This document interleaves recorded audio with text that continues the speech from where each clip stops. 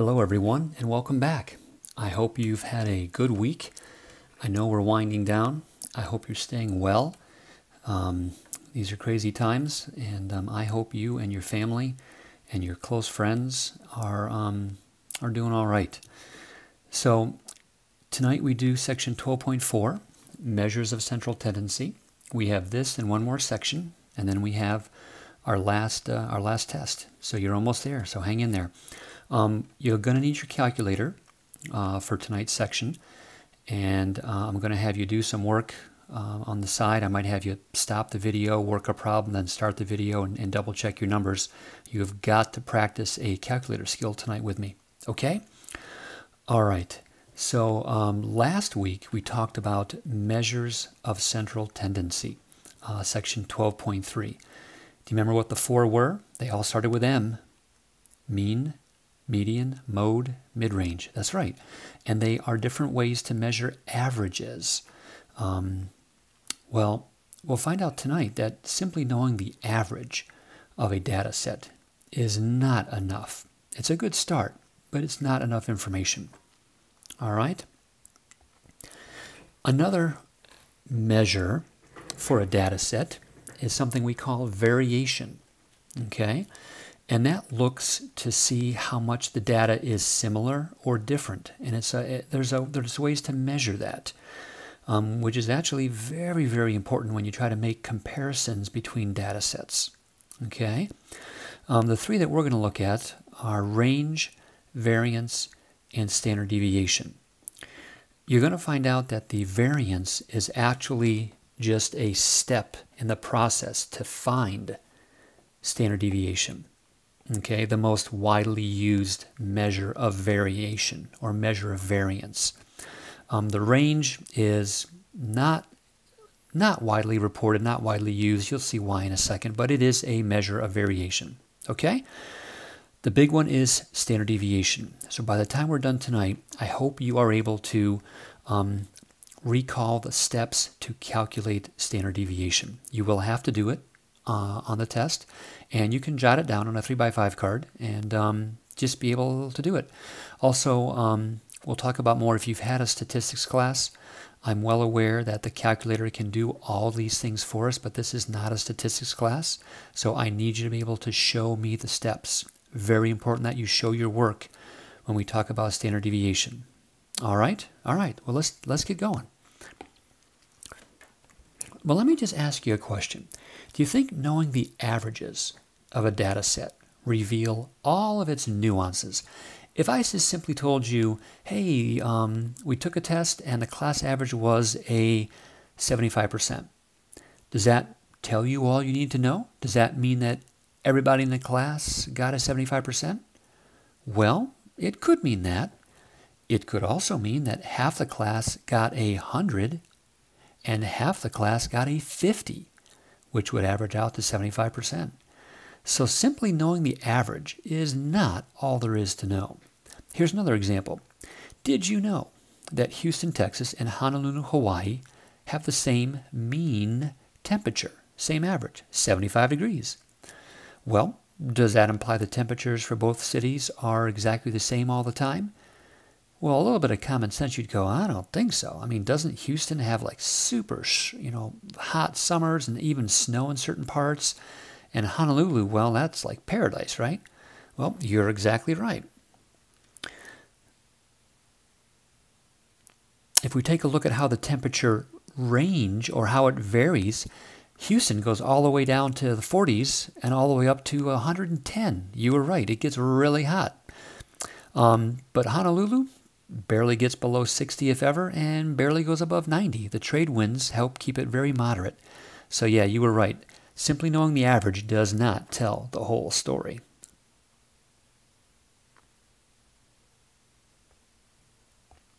Well, here's our first measure of variance, okay, or a way to find out how the data in a data set, how it varies. Is it close together or is it spread apart? That's really what we're after, okay?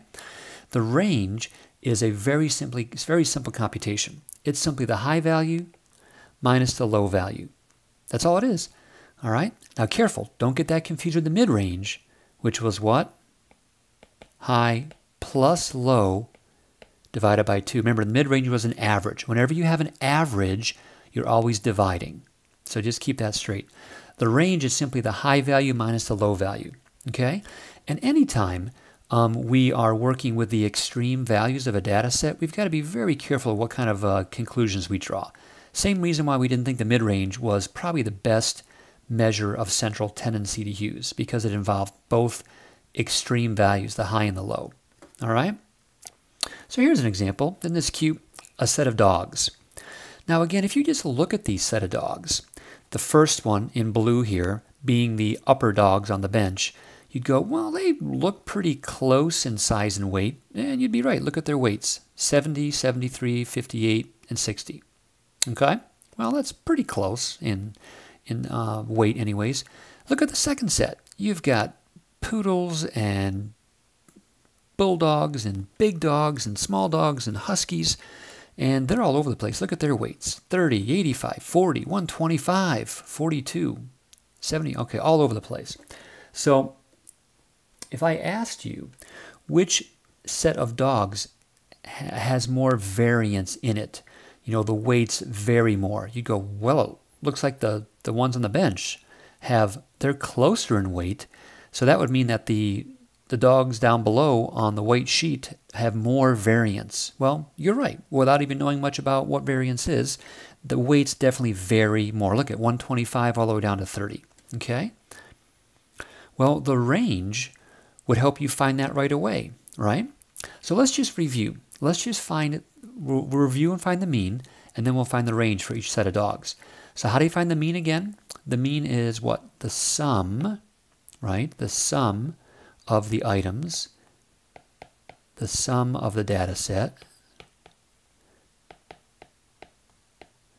divided by how many?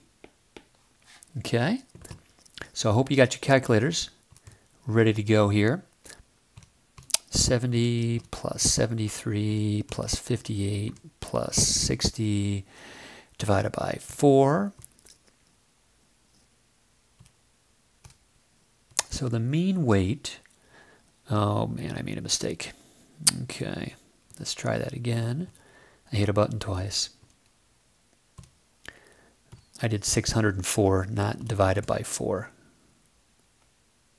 Make sure you put things in parentheses, right? Anytime you have a group of data, a group of numbers, it's always a good idea to put them in parentheses. So you should be doing um,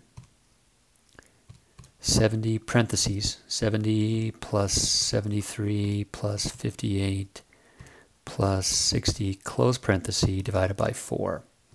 And we get 65.25. 65.25 pounds. Okay, that's the average. Now the range is simply the, what is it again? It's the high value minus the low value. Well, what is 73 minus 58? 15. So that just tells you the spread in weight between the heaviest dog and the, and the lightest dog, 15 pounds. Okay? Now let's compare that with the other list of dogs. So now we're going to go ahead and calculate its mean, which is again 30 plus 85. I hope you're working along with me.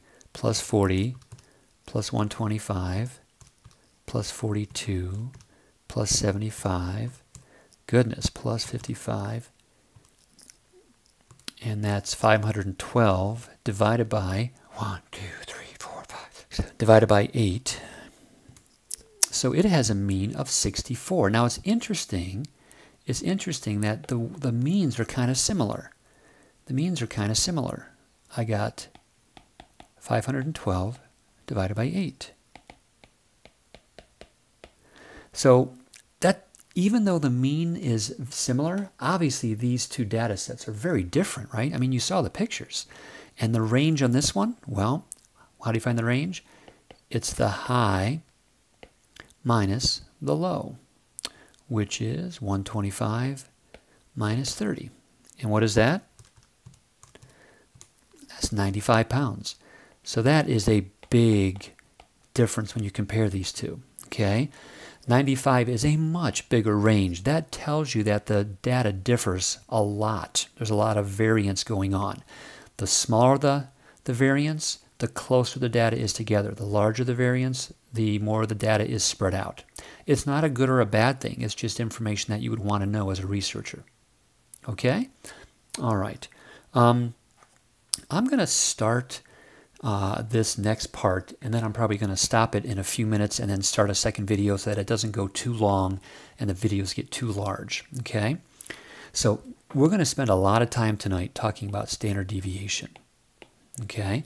And one step in that process is something called the variance. Not too important that you can report the variance other than the fact that it's in the homework. Um, so that's why I'm mentioning it. But normally the standard deviation is what we're after. Okay? And it is the, since the standard deviation involves every data item, remember the mean, I'm sorry, the range only involved the high and the low, only two. Okay? Well, just like the mid-range only involved those two, we normally like um, a statistical measure that involves all the data. That's why we like the median or the mean. Well, the standard deviation involves every data item. That's why it's much more reliable and reported much more often in the research. Okay? So again, just keep in mind that when we talk about deviation, standard deviation, okay, um, a high value versus a low value, all it means is that there's more variation. A low standard deviation means the data is closer together. And that does have meaning depending on what we're talking about. Okay? All right. Um, so I'm, I'm going to uh, walk you through the steps and then we'll do one together uh, with the calculator and you'll help me out. Okay? So step number one is you find the mean. Well, we already know how to do that. Step number two is you subtract the mean from each data set. Okay? And then we square that number. Now, I'm going to show you at some point how to combine these. Okay? We're going to save a lot of work. I'm going to show you how to do this on the calculator, and we're going to combine like three or four steps. So don't worry. It sounds like a lot of work, and it's going to look like a lot of work until I show you on the calculator how to combine like three steps into one. And that'll be huge. And I still need to show you, you need to report to me a specific number and then I'll know that you know what you're doing. But you got to show me this one number, no matter no matter what we do, no matter how many steps I save you. Okay. Okay. Step number four, we find the sum of those squares. Okay. Now steps two, three, and four. That's what I'm going to show you how to combine on the calculator, and that will save us a lot of work and it makes the calculator do all the work. We just have to be careful and report that, that one number. I'm going to call it the magic number. Okay? And then we, um, steps five and six are the last two. And we, um, number five is we divide that sum that we just found. Okay? We divide that by n minus 1. Okay, remember I told you that n in statistics is always the number of data values. So that's real easy. That's n, and you're just going to divide it by n minus 1. Again, in a stats class, you would go over y n minus 1. But in this class, just remember divide by n minus 1. Okay? Now to offset the fact that you squared everything back in step 3, we take the square root and that gives us the standard deviation. Okay? All right, so I'm going to stop this video and then I'm going to start another one and then I'm going to walk you through how to find the standard deviation. I know, you can't wait. We'll be right back. Talk to you in a minute.